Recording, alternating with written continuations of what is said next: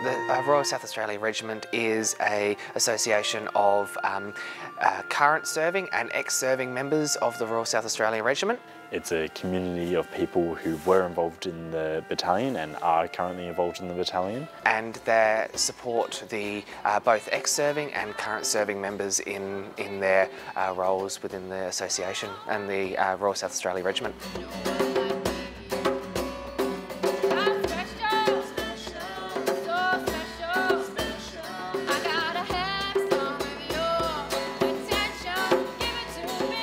So the association uh, helps purchase and maintain instruments that we use, uh, as well as uh, facilitating things like concerts once every two years, which uh, we use as a fundraising event for the band. Uniforms as well, so this white uniform that we're wearing is um, the traditional uniform that uh, the battalion used to wear for uh, mess functions. One way the band is able to keep that tradition going through the battalion is by keeping uh, the white mess dress coming through.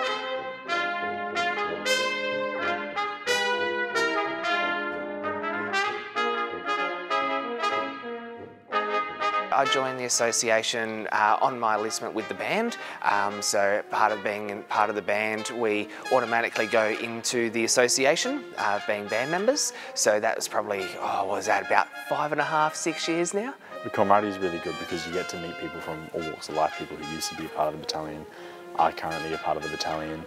Um, and yeah, it's a good time to catch up. The reason why people should join is to be able to spend time with members that you're serving with as well as ex-members of the battalion in a casual way um, and you can also yeah be able to support your uh, battalion through uh, other other um, stuff like memorabilia for the battalion and uh, and that sort of stuff to keep the traditions of the 10th 27th Royal South Australia Regiment um, alive and well. They definitely got your best interests at heart and they, they want to do they want to make the experience of being a reservist a really good one.